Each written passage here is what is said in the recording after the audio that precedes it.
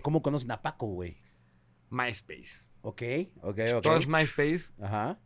Back in the days le mandamos nuestros demos a Tito. Context, ah, bueno, ya lo dijo, contexto. Paco Ayala, bajista de Molotov, y Tito de la Fuente, eh, o Tito Fuentes, Tito Fuentes. de, de, del Fuente. de la Fuentes, de Fu- Tito Fuentes de Molotov. ¿Cómo, cómo, cómo- entonces, cómo, cómo haces la aproximación con esos cabrones? Mi hermano me platicó una historia de los Libertines Ok. gritándole afuera del departamento de Mick Jones de The Clash. Entonces me platicó esa historia. Así dijiste, ¿por qué no? Ajá. Soy. No, no, no. Entonces yo como que me cagan los Libertines, pero nada The Clash. Y dije, hay que hacer algo igual, pero ya había web. Entonces le mandamos un mensaje así como de, escúchanos, escúchanos, escúchanos. Y un día nos contesta. Este, sí, güey, a huevo, eh, mándenme su, su material a este mail. Y empiezan las conversaciones, nos invitan a sus fiestas de, de que sea Tito los Harakiri Los Nights. Harakiri, ajá. El cara dura. Eh, bueno, Bueno, hubo muchos pues ahí. venues, pero bueno, en esas.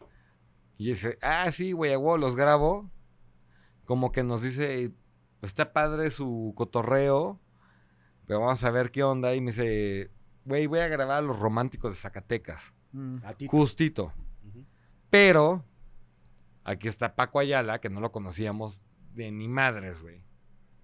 Y, no- y, y es muy bueno también, güey. Pues, Claro. Sí, no mames, güey. Claro. Dijimos, ah, pues cámara, que nos grabe ese güey.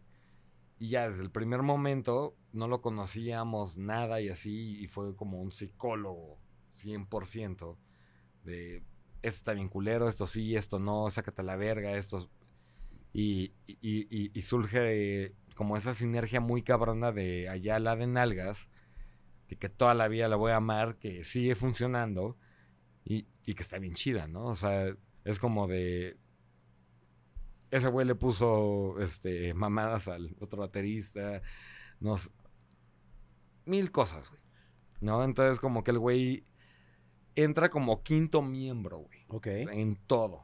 ¿No? Entonces, como que. Nos la pasamos muy bien. Y ya, pues se quedó como productor 100%.